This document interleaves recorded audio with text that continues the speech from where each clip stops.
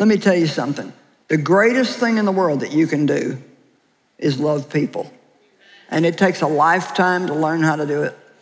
And today we've got a whole world full of people that are getting harder and harder to love. But, you know, sometimes we're pretty hard to love too.